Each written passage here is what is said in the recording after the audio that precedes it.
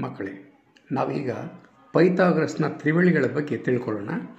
ಯಾವುದೇ ಮೂರು ಸ್ವಾಭಾವಿಕ ಸಂಖ್ಯೆಗಳನ್ನು ಪೈಥಾಗರಸ್ನ ನಿಯಮಕ್ಕೆ ಅನ್ವಯಿಸಲು ಸಾಧ್ಯವಾದರೆ ಅವನ್ನು ಪೈಥಾಗರನ್ನ ತ್ರಿವಳಿಗಳು ಅಂತ ಕರೀತಾರೆ. ಉದಾಹರಣೆಗೆ ಮೂರು, ನಾಲ್ಕು, ಐದು. ಯಾಕೆ ಅಂತಂದರೆ, ನೋಡಿ, ಮೂರು ಸ್ಕ್ವೇರ್ ಪ್ಲಸ್ ನಾಲ್ಕು ಸ್ಕ್ವೇರ್ ಇಸ್ ಈಕ್ವಲ್ ಟು ಐದು ಸ್ಕ್ವೇರ್. ಎನ್ ಒಂದು ಸ್ವಾಭಾವಿಕ ಸಂಖ್ಯೆ ಆದರೆ ಆಗ ಎರಡು n, comma, n square minus one, comma, n square plus one. ಆ ಮೂರು ಬರುವಂಥ ಬೆಲೆಗಳು ಪೈತಾಗ್ರನ್ ತ್ರಿವಳಿಗಳಾಗಿರುತ್ತೆ ಆದರೆ ಎನ್ನು ಯಾವತ್ತಿಗೂ ಒಂದು ಸಮನಾಗಿರೋದಿಲ್ಲ. ನೋಡಿ, ಉದಾಹರಣೆಗೆ ಎನ್ ಇಸ್ ಈಕ್ವಲ್ ಟು ಎರಡು ತೊಗೊಂಡ್ರೆ ನಮಗೆ ಎರಡು ಇಂಟು ಎರಡು, ಕಾಮ, ಎರಡು ಸ್ಕ್ವೇರ್ ಮೈನಸ್ ಒನ್ ಕಾಮ ಎರಡು ಸ್ಕ್ವೇರ್ ಪ್ಲಸ್ ಒನ್. ಈ ವ್ಯಾಲ್ಯೂಗಳು ಏನು ಬರುತ್ತೆ? ಎರಡು ಇಂಟು ಎರಡು ನಾಲ್ಕು. ಎರಡು ಸ್ಕ್ವೇರ್ ಮೈನಸ್ ಒನ್ ಅಂದರೆ ನಾಲ್ಕು ಮೈನಸ್ ಒಂದು ಮೂರು. ಎರಡು ಸ್ಕ್ವೇರ್ ಪ್ಲಸ್ ಒನ್ ಅಂದರೆ ನಾಲ್ಕು ಪ್ಲಸ್ ಒಂದು ಐದು. ಸೊ ಹದಿನಾರು ಪ್ಲಸ್ ಒಂಬತ್ತು ಇಸ್ ಟು ಇಪ್ಪತ್ತೈದು.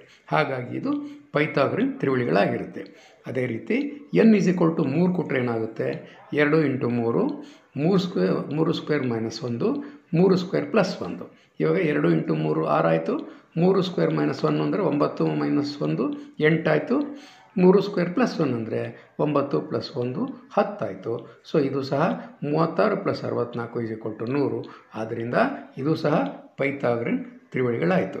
ಎನ್ ಇಸ್ ಈಕ್ವಲ್ ಟು ನಾಲ್ಕು ಆದರೆ ಆವಾಗ ಎರಡು ಇಂಟು ನಾಲ್ಕು ನಾಲ್ಕು ಸ್ಕ್ವೇರ್ ಮೈನಸ್ ಒಂದು ಮತ್ತು ನಾಲ್ಕು ಸ್ಕ್ವೇರ್ ಪ್ಲಸ್ ಒನ್ ಈಗ ಇದೆಷ್ಟಾಯಿತು? ಎರಡು ಇಂಟು ನಾಲ್ಕು ಎಂಟು, ನಾಲ್ಕು ಸ್ಕ್ವೇರ್ ಮೈನಸ್ ಒನ್ ಅಂದರೆ ಹದಿನಾರು ಮೈನಸ್ ಒಂದು ಹದಿನೈದು, ಮತ್ತು ನಾಲ್ಕು ಸ್ಕ್ವೇರ್ ಪ್ಲಸ್ ಒನ್ ಅಂದರೆ ಹದಿನಾರು ಪ್ಲಸ್ ಒಂದು ಹದಿನೇಳು. ಇವಾಗ ನೋಡ್ಬೋದು ಅರವತ್ತ್ನಾಲ್ಕು ಪ್ಲಸ್ ಇನ್ನೂರ ಇಪ್ಪತ್ತೈದು ಇಸ್ ಈಕ್ವಲ್ ಟು ಇನ್ನೂರ ಎಂಬತ್ತೊಂಬತ್ತು.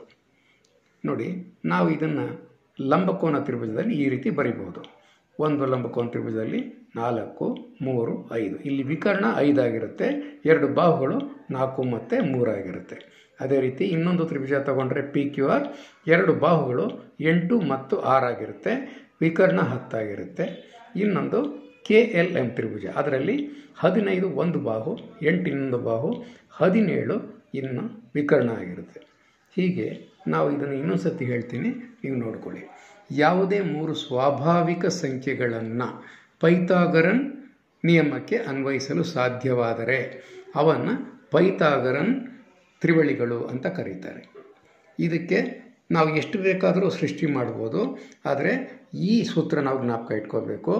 ಅದು ಯಾವ ಥರ ಅಂತಂದರೆ ಎರಡು n, comma, n square minus one comma n square plus one n ಬೆಲೆ ಒಂದಿರಬಾರ್ದು ಅಷ್ಟೇ.